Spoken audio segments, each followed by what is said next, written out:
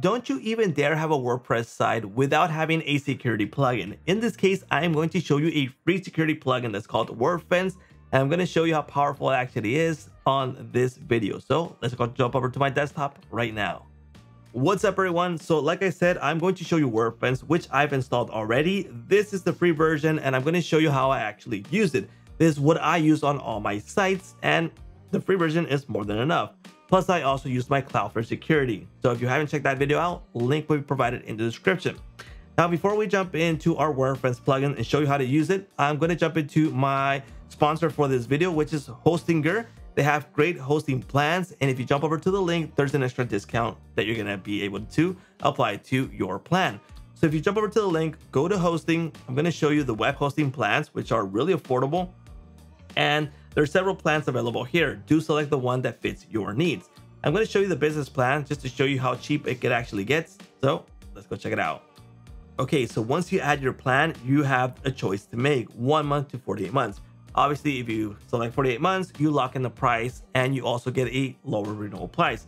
So it's much better. Okay, so in this case, 48 months, $3.99 a month.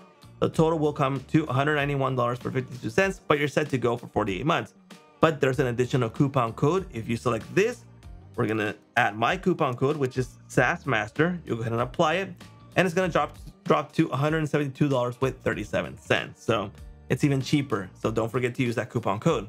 Okay, let's jump over to WordFence. So like I said, WordFence is a security plugin. Let's get started. So basically, this is my dashboard and overall view of the recent attacks that I've been having on this particular site. And the more popular your site is, the more attacks that you're going to get. So in this case, the total attacks block are right here, the last 24 hours, which is crazy. Check that out. So that's WordFence Network, the whole thing. But in my case, this is my firewall summary, which is today two, in the week 365, and the month 1,180 attacks. So basically, WordFence is doing its job, and like I said, it's free. Now, the first thing you want to set up is the firewall. Firewall doesn't come completely set up until you actually enable it, okay? So do that first so you get access to all the features on, on WordFence, okay? So you got rate limiting, you got brute force attack limiting, you got blocking for IPs, and you're gonna be able to view all the firewall options right here. So first off, let me show you the top countries by number attacks last seven days.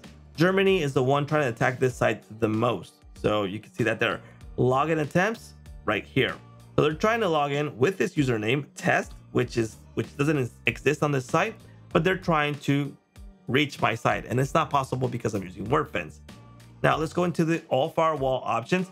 And this is where you want to tweak it if you want to really like stop hackers from trying to hack your site. So like I said, enable and protecting, in my case, it's on.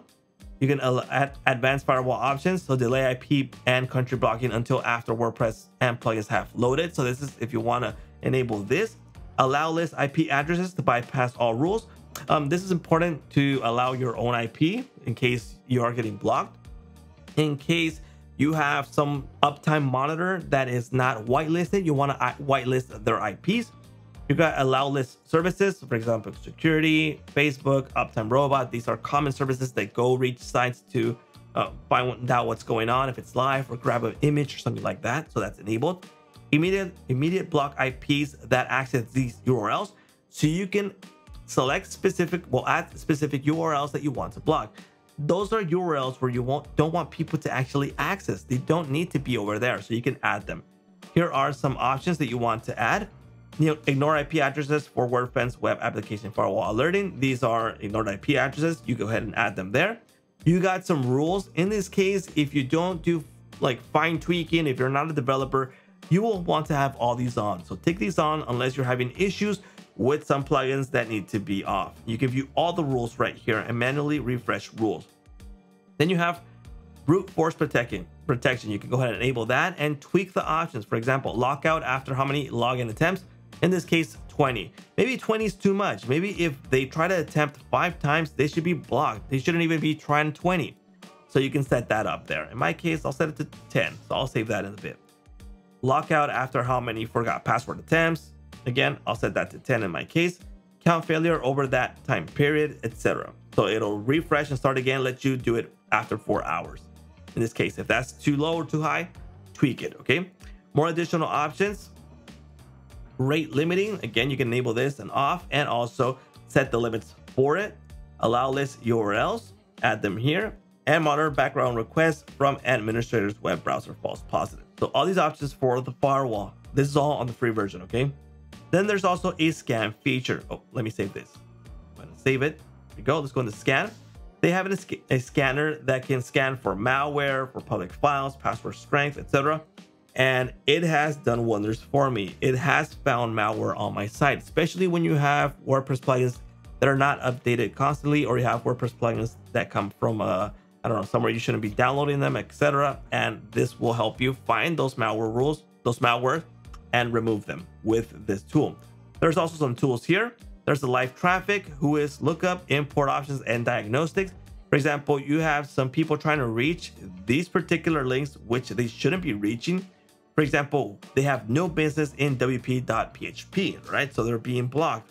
I can also block the IP from here, run WHOIS, see recent traffic, and add parameters to firewall allow list. As if I want to allow this IP, this person. There could come a time where you do need to allow it. Maybe it's a backup tool, then you allow it.